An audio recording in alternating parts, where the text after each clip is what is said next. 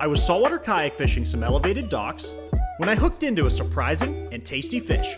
Take a look. Oh, it's a trout. No way. Nice trout. Yes. 16. And that's what happened when,